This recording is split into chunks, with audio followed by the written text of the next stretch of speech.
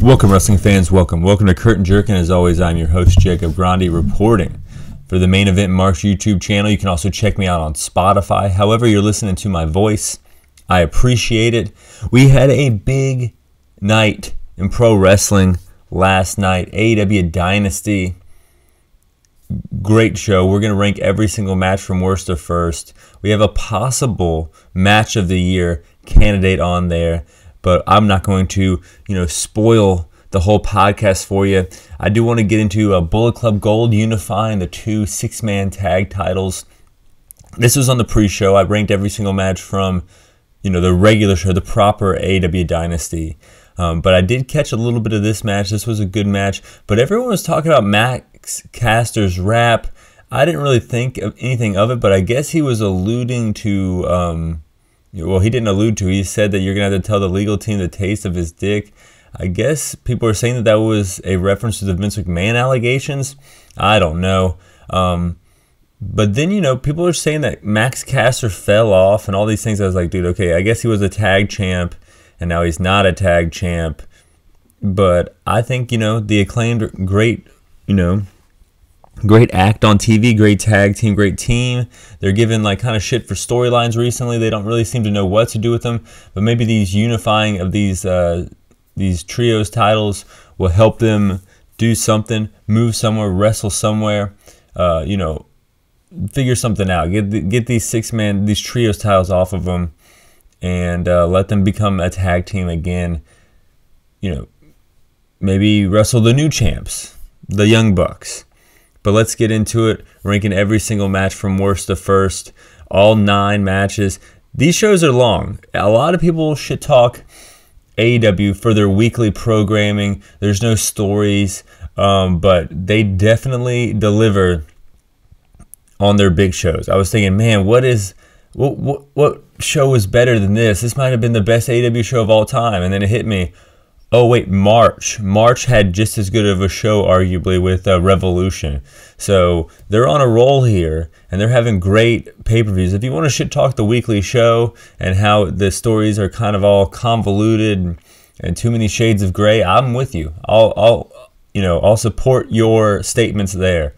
But if you want to shit talk the entire company I'm not going to be with you there. These big shows, these pay per views deliver, and they're two sellouts. Last March, or this March was a sellout, and uh, last night was a sellout as well. But we did have a dud on the show Hook versus Jericho. Hook taking Jericho to Suplex City, throws an elbow with so much air between it, you could have, I don't know, uh, it could have been made with a windmill the amount of air. It powered the city of St. Louis with how much wind was being whiffed by Jericho's face here. This elbow did not land, but Jericho acted as if it did. Jericho sets up a table. Hook gets a trash can lid. Hook puts Jericho through a table. This looks sloppy and stiff. Um, Jericho kicks out. Crowd is chanting "Go home, Jericho." I mean, Jericho has that weird heat where you know that NDA heat, if you know what I'm talking about. Uh, the heat of you know maybe he's an old guy in the promotion holding young guys back, even though I mean he only kind of only works with young guys, and you know it's it's uh, it's a weird thing to talk about. I think in his mind he's helping, and in the fans' minds he's hurting, and um, they're you know that's just what's happening here. So every Jericho match doesn't have that that fire, that sizzle that you're really looking for in an AEW match. T-bone suplex while Jericho was in a trash can. That was a cool spot. Uh, Jericho kicks out again, but this match did drag. Hook uh, moves. Uh, oh yeah, Hook just moves from Jericho diving off the second rope. Redrum. Jericho falls back through a table to break it up. Jericho uh, you know, kind of gets the leverage here uh, with this with this pin attempt, but he even kicked out of that. So he put his feet on the ropes. One, two. Jericho kicks out from having, or Hook kicks out of from Jericho getting that leverage, which maybe that might, uh, you know, downplay any other time you want to use that. I would I was not a fan of them using that uh, that technical wrestling spot in this hardcore match. Sloppy uh, counting from the ref here. The crowd, some of the members of the crowd thought it was three. This match just did not connect. Lion Tamer locked in. Low blow to Hook. Camera didn't catch the low blow though. Judas effect. 1 2. Hook kicks out of the Judas effect. Jericho drops another one. 1 2. Hook kicks out again. Jericho gets a bat, says, Don't make me do this. And Hook just flicks him off. I actually like that spot. Don't let me do this. Fuck you. Boom. Connects with the bat. One, two, three. Jericho now has the FTW title. The story was good at the end here. Don't make me do this, but then he does it. Now he has the FTW title. I think they're going to do a similar storyline that they did when Jericho had the Ring of Honor title. Like a guy who doesn't care about the history of this and is just kind of flaunting it around because he, you know, he thinks he's the best.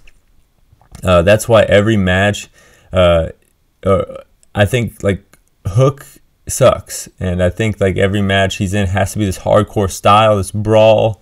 Um, to cover up, you know, that he, you know, he might not be as good as you might often need to be to be in AEW or uh, or whatnot. I mean, just compare him to uh, Colten Gunn, someone who exclusively wrestled only in AEW, just like Hook, and they've been around about the same time now. There's something going on where Colten gets it, and Hook, I don't know, maybe it might be his character to stand there and be tough, but I don't get it. I don't like it.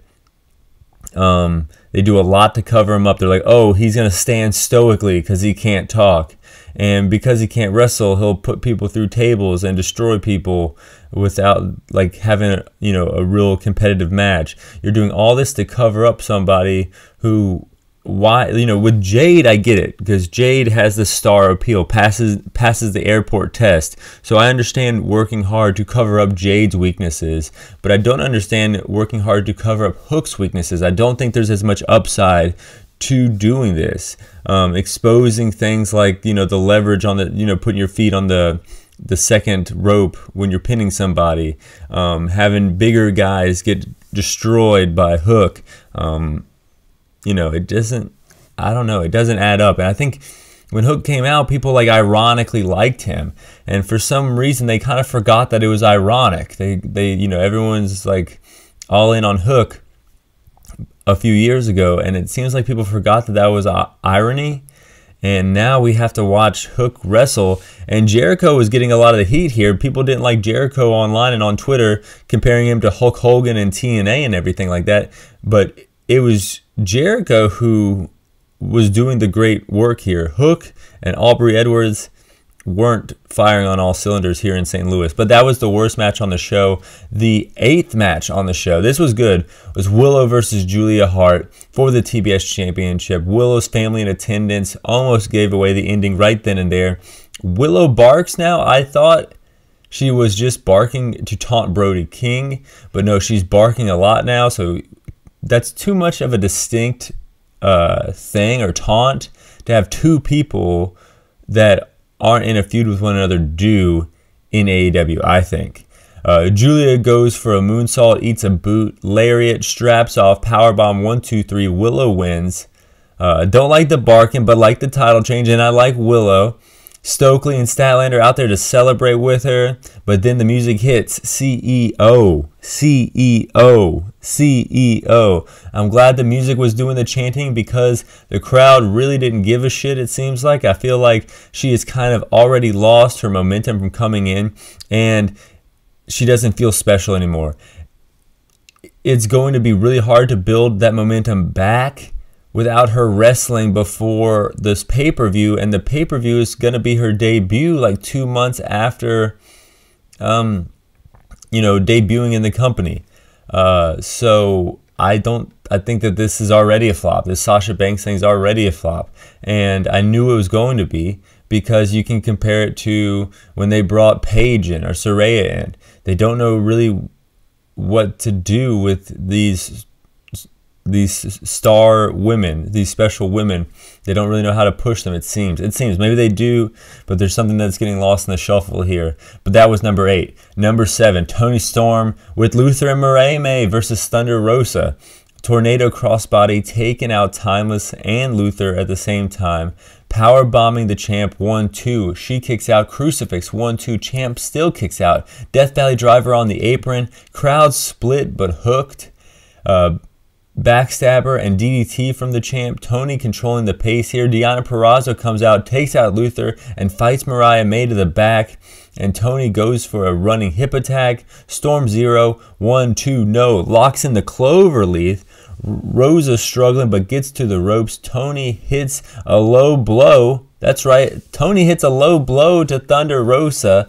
Storm zero, one, two, three. A low blow in a women's match a boot under the blouse, putting the V and V trigger, a kick below the kidneys, a mule to the muff. This was interesting. This was fun. Uh, Toni Storm is great. I love the whole thing. Mariah May is hot. She comes out. there's going to be some kind of looming tension there. Luther is great in his role as this butler. Just the whole thing is great here. She just is on an island onto herself as far as the women's division, but you know, you are heating up. Willow, she's great. I liked that they gave Thunder Rosa another title opportunity. You have that looming um, tension that I already spoke about with Mariah May. So you can do things for the next six months with Toni Storm as this champion. I, I even forgot about Deonna Purrazzo. That feud is still going on. I think that uh, all this talk about you know people missing Jamie Hayter and where's Britt Baker. I don't care. I don't care. I like Hayter. I like I like Baker to an extent, but I think anything that will disrupt what Toni Storm is doing right now is not the best thing to do in the women's division. That's why I think honestly Mercedes Moné is going after that TBS title um, because they know that they got something here with Toni. Everyone knows. But number six, Roderick Strong versus Kyle O'Reilly. Solid video package uh, before the entrances. This was a well built match. Uh, they knew they were in the middle of a long show and they were going to hook this crowd by you know starting off slow. O'Reilly going after the leg of the champ, Strong connecting with a bunch of backbreakers as he does. Two lariats at the same damn time, both men down. Wardlow comes out, ref keeps him at bay, but he stays out there. Kyle goes after the arm. End of heartache. One, two, three. Roderick Strong retains. But what was the point of Wardlow being out there? The rest of Undisputed Kingdom on the top of the ramp. Adam Cole gets out of the wheelchair, comes down to the ring wearing that devil mask shirt, uh, you know, kind of reminding everyone of how Undisputed Kingdom formed and how shitty that storyline was. But he doesn't let his eyes off of Wardlow. He's staring at Wardlow, probably wondering, hey, why the fuck were you out here, man? Um, for a little bit longer than you would just look at somebody. And then even when they were leaving, he's looking at him. This was great here.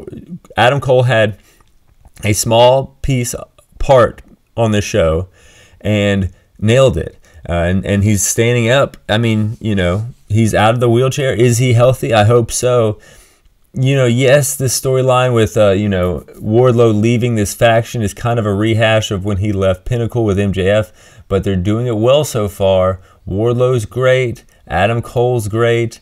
Uh, I think they can work well together. So if this is a slow built storyline, maybe going all the way even into Wembley, I would uh, I would enjoy it. But this match was number six. It didn't crack the top five. What did crack the top five was House of Black versus Adam Copeland, Mark Briscoe, and Eddie Kingston. Nice six man tag here. Brody King and Eddie Kingston.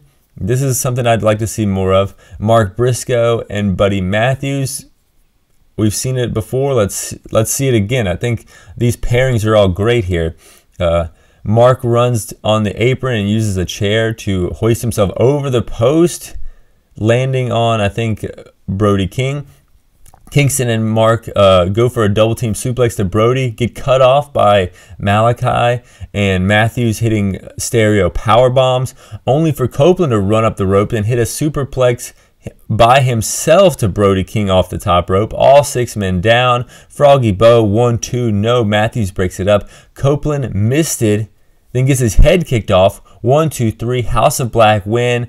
This was a great match and set up a good TNT title match down the road. Black versus Copeland. Sign me up. That's a main event anywhere. And uh, I think, you know, going into this six man tag, like I said, these pairings are great, but the whole reason to do it, you could see it from a mile away, was get Black and Copeland to go at it. And look at me, I'm not calling him Edge, I'm calling him Copeland because he's been doing great work. I think this run in AEW is better than the last few years of him in WWE. Number four, not even making the podium, but is, you know, could have been match of the month. And, you know, if you told me that this was your favorite match of all the whole month, I wouldn't bat an eye, but it's the fourth best match on the show, in my opinion. These next matches are all going to be good. Didn't even make the fucking podium. Okada versus Pac. Holy shit, chance off the bat. Pac grounds the Rainmaker and brings him to the floor. Okada cuts him off uh, when he goes up top. Uh, Okada is able to hit a dropkick, sending him to the floor. Dropkick again in the center of the ring. Pac hits a moonsault to the floor. Pac in at five. Okada comes in at eight. Missile dropkick from the challenger. Champ replies with a dropkick of his own. Like JR said, ain't nobody does it better. Ain't nobody does it better. The drop kick, than Okada. Drops him with a neckbreaker one two no. Okada goes for the Rainmaker pose, but then as uh, as it you know as he's supposed to extend his arms, he just gives two middle fingers to St. Louis. Finally getting a little heat. Finally getting a little heat here. This new lease on life. Him being elite.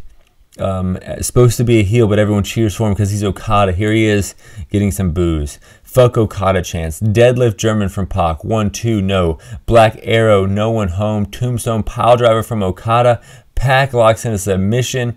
Okada rakes the eyes uh, to break up the hold. Tombstone from Pac here goes up top. Okada pulls the ref in between them. Uh, Black, but then the ref kind of fights him off. Pac able to go for the Black Arrow, knees up, Rainmaker, one, two, three. Okada gets the victory. That was the first match on the show, and I thought that was going to be the best match on the show until the final three matches on the show came to be, and they were just all fucking great.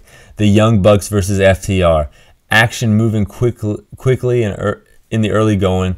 Uh, vacant tag team titles. Dax tossing Nick uh, on the ladder, backdropping Matt on the ladder as Cash sets up some tables on the outside. Bucks get the upper hand on Dax. Um, he's busted open. Cash sliding under the ladder. This was a cool spot. So they they Irish whip him into a ladder that's draped on the apron and the guardrail. He slides under it, jumps on top, hits a moonsault. I'm just thinking, like, God damn, how long would it take me to do that? Get on top of a ladder that's that high, turn around on the ladder, and do a flip. The flip is off limits. I can't do that fucking flip right there. But to just pop up on a ladder, turn around, and then hit another, like, that's just that, even that little moment right there of athleticism, I wouldn't be caught dead doing. Let's go back to the match. Um, v, uh, the, so they they Cash jumps on the ladder again. They rack him. He falls nuts first, and then they hit the EVP trigger while he's still like, you know, hanging from his nuts. Uh, Doomsday Bulldog in the ring when the FTR get the upper hand. Sharpshooter, and then Cash puts uh, the the the ladder like so. The bottom rung is holding Matt's back down as he climbs the ladder. Nick fights that off. Slingshot powerbomb, always a sick move. Cash dives on Matt. Uh, he went uh, through, like, Matt went through a table like ass first and his head bounced off the guardrail. Hurricane Rana. Uh, Dax barely breaks the table. That looked crazy. FTR takes off Matt's shoe for some reason to stop him. Power and glory off the ladders. That spot was great. Nick hits a 450 off the top rope through a ladder to the floor. Dax hits a pile driver uh, through a, a, draped ladder to the floor. They're just going off here. Cash flying through the ropes. Nick moves and he just eats shit through a table that he set up earlier in the match. Please be careful, Chance. What a dumb fucking chant here. Nick and Dax climbing the ladder. Someone in a Sting mask shows up or maybe it was a V for Vendetta mask, I don't know, pushes Dax off the ladder. Security guards grab him unmask him to reveal that it's Jungle Boy Jack fucking Perry, the man, the provoker of CM Punk, Cry Me a River himself. And as he's getting thrown out, he's throwing up the the elite hand gesture. Um, Okada is going to look like a camp counselor or something with this faction. All three of these young California boys, about five foot eight, and then you got that, you know, the six man or the the six foot guy standing behind him with the title. But you know, the Young Bucks get the titles. This is something new here. Um, I'm I'm in I'm I'm not necessarily into Jungle Boy, but let's keep this going here. Let's add a little story to this. I guess, you know, it does make sense of why they showed the footage to begin with. And Jungle Boy is back in AEW. And that's number three, the third best match on the show. Number two, the main event. Joe versus Swerve for the world title. Swerve with the Black Panther mask, entrance gear, and everything. Marching style music before his song kicks in. And right then and there, I was like, he's winning this fucking title. Why would they give him this huge entrance without putting that title on him? Nana saying whose house? All of St. Louis knows whose house it is. It's fucking Swerve's house. Joe throws him onto the announcer's table. He's trying to. Uh, you know, keep the title. He's staying in control on the outside and back in the ring. Joe sweeps the leg of Swerve at one point. That was cool. Popped Nigel McGuinness. He called it a barrel kick. And this looks, you know, this looked pretty slick. Joe is definitely in control up until this point, but then Swerve slowly getting the momentum on his side, going after the arm of Joe. Muscle Buster, one, two, Swerve kicks out. Joe can't believe it. They do protect this move a lot. There's a lot of two counts uh, throughout this show and all throughout AEW, but they protect the Muscle Buster, and Swerve just kicked out of it. 450 on Joe as Joe's trying to get back into the ring. Swerve stomp, one, two. Joe kicks out. Swerve cuts off the rear naked choke and after and goes after the arm of the champ again, stomping on Joe's arm, uh, creating a nasty pop here. House call one two no. Power bomb to Joe. Power bomb to Samoa Joe, the much larger man. No. Swerve stomp, and then as as he goes up top to do the swerve stomp, he stands on the top turnbuckle, and you just there's this this shot with everyone in the room standing as well. They know what time it is. They know whose house it is. It's Swerve's house. One, two, three. The right guy won. The most over guy won in the last few months. Uh, since MJF left, I would say this is the guy who you kind of felt like maybe was the world champion this was the right time here. Uh, the beginning half of the year, as yeah, like as you don't have MJF around, and as you know Jericho's losing favor. Um, you know you have a lot of these guys who you know Omega's not around. You have a lot of these guys who are just like go-to wrestlers in AEW, and they were gone. And Swerve was just there, and everyone wanted Swerve to kind of have this title for I think since at least since 2024 started, if not longer and they milked it. I wanted them to do it in March. The, in hindsight, that wasn't the right time. It's also good because, you know, first ever black AEW champion, of course, um, but also the first guy and the only guy, in my opinion, who's become a bigger star since leaving WWE and coming to AEW. So that much like Cody leaving AEW and going to WWE, and then WWE being able to say, like, look, we made him an even bigger star. AEW can now do that with Swerve. AEW can say, like, you didn't know how to use this obvious star. You had him wasting away on SmackDown after he proved himself to be someone of note in NXT. You didn't do shit with him. And then he came over here and he became a huge star. Um, the counter argument to Cody is now Swerve. And I think that's big. I think you need to keep the title on him for, for a long time. Whose house it is, Swerve's house. Was he a heel? Did he break and enter into a few people's homes? Yeah, um, but no one cared. Everyone thought he was fucking cool, anyways. I've been saying it for months. People forgot about all that shit. And now that he's over, now that he is a face, you can slowly get people to forget about that shit push it away. Don't have him do any of that shit anymore. Nana coming out with the dancing and just the whole package is great. Um, shout out to Joe. Great title run. Um, uh, well, he was a great champion, but I don't know about a great title run.